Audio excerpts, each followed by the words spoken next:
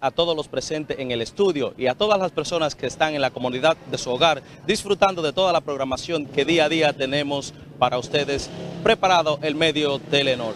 En estos tiempos navideños, el gobierno siempre acostumbra a repartir las tradicionales cajas navideñas y nosotros quisimos salir a las calles para saber qué tan de acuerdo estarían las personas con la entrega de esta, dada a que muchas personas entienden de que esto se puede utilizar como procedentismo político. Y por eso estamos precisamente en el mismo corazón de San Francisco de Macorís para escuchar la opinión de la gente, hacer un sondeo completamente en vivo por este canal 10 de Telenor para saber la opinión de las personas en torno al reparto de las cajas navideñas. Caballero, eh, ¿estaría usted, ¿está usted de acuerdo con que se repartan las cajas navideñas como tradicionalmente lo hace el gobierno?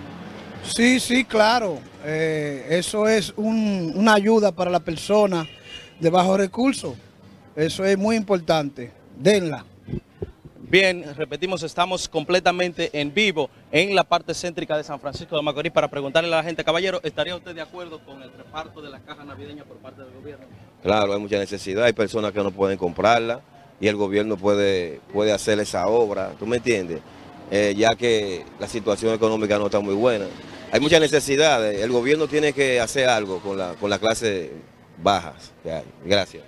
Ok, repetimos, cada año el gobierno dominicano invierte millones de pesos en la entrega de la canasta navideña. Caballero, ¿estás de acuerdo con que se entregue la canasta navideña como tradicionalmente lo hace el gobierno? Pues claro que sí. Claro.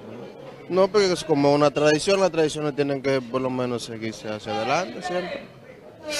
Bien, ahí escucharon ya, eh, podríamos decir que muchas personas a favor de que se haga esta entrega de las, las cajas navideñas que cada año, aunque otro sector está en contra de este y dice que eh, el gobierno gasta mucho dinero de manera innecesaria en estas cajas navideñas. Caballero, ¿está de acuerdo con que el gobierno entregue tradicionalmente las cajas navideñas que en este tiempo se entregan?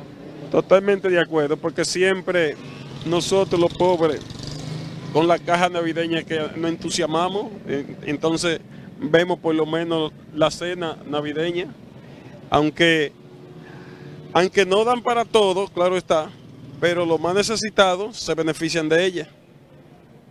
Bien, ahí escucharon y seguimos eh, preguntándole a la gente. eh, caballero, estamos completamente en vivo por el canal 10 de Telenor y la pregunta es, ¿está usted de acuerdo con que el gobierno reparta las cajas navideñas?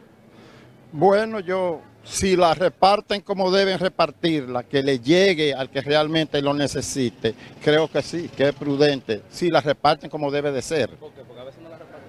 No, porque a veces se quedan con ella algunos, llegan la caja, pero no le llega al necesitado. Entonces en ese caso, no, pero si le llega a los que realmente lo necesitan, está bien.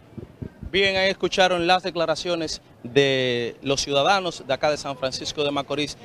Vale destacar que hace ya unos días en las redes sociales se hizo viral un video donde se veía a unas personas que intercambiaban las cajas del plan social y le ponían eh, una caja con la figura de un candidato presidencial, situación que ha generado un gran malestar en todos los cibernautas. De mi parte, es todo lo que tengo por el momento. Retorno con ustedes al estudio.